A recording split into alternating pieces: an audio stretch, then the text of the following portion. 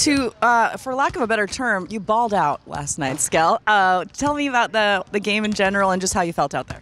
Uh, I just I felt great out there. It was about me coming out and be you know being confident. You know uh, I give God the glory for that because you know at times you know with the way the season was going for me, I was very I thought I was pretty inconsistent at times, and you know sometimes there you know doubts had a little doubts, but you know uh, thanks to God I came out there and I was you know played with confidence and just shot the ball. So. At one point, Kevin and Lamar were joking that you had a couple misses. They couldn't remember them because it felt like you were hitting everything. Have you been really focusing on your mid-range game? Uh, yeah, it's something that I've worked on for a long time. Uh, you know, I just had to come out in the game and actually like, you know, uh, put myself in the right spots and you know, uh, having my teammates, you know, they trusted me and passing me the ball in the right spots where I could, you know, just raise up and knock them down. So that's something I worked on, work on all the time. So.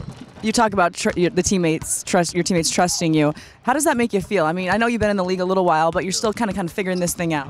Yeah, it feels uh, feels great. You know, uh, them just keep they kept throwing it, uh, kept throwing the ball in that pocket. You know, CJ was looking for me, uh, Kent, Rodney. So it was it felt good. Uh, you know, it just you know helped me out a little bit. You know, just to you know make the shot, make wide open shots. So.